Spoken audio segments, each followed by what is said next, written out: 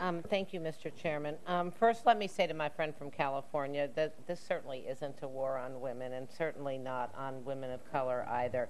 Um, between, just to, to give everybody a little bit of background, between fiscal year 1996 and fiscal year 2009, appropriations bills for the District of Columbia prohibited taxpayer-funded abortions, and many of those bills were drafted by the Democratic Party and signed by Democratic presidents. Um, and then in fiscal year 2010, uh, the Financial Services Bill lifted this restriction to allow local funds for abortion.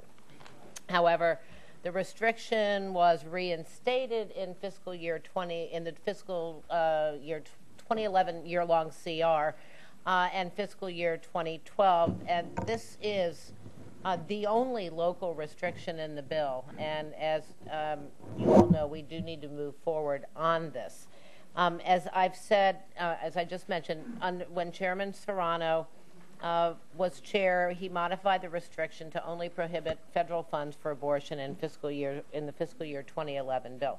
But on the House floor, that language was considered legislative and couldn't be modified to prevent uh, local funds for abortion.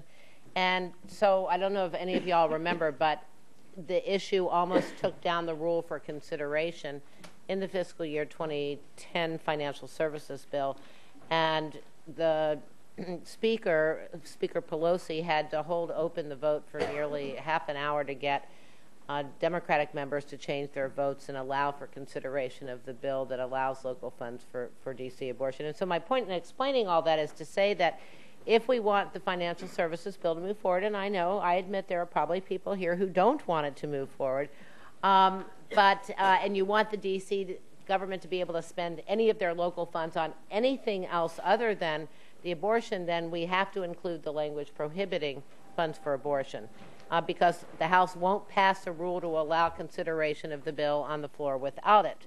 So voting for this amendment is voting to stop the financial services bill from moving through the appropriations process and stopping funds for the city and all of the federal agencies in the subcommittee's jurisdiction. So I urge a no vote.